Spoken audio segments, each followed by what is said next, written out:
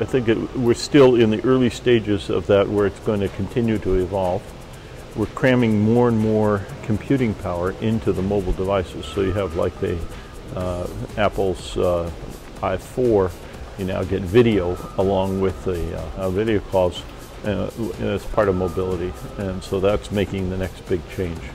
Uh, we're beginning to get just beginning to get uh, the ability for the device to see what you see. And so you could look at something and it could see what you see, and then it could bring you the information about that.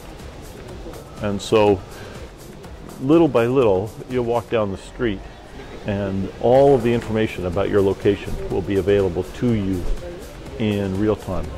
If you can point to a place, then all the information about that is pulled up from the databases uh, who lives there, uh, how much the building costs, what they're selling there, what sales are available. I mean, different kinds of information. And so you'll be, have a constant awareness about uh, uh, where you are and what's near you and, and all the things that are happening related to that, integrated in a more um, uh, constant way than it is now.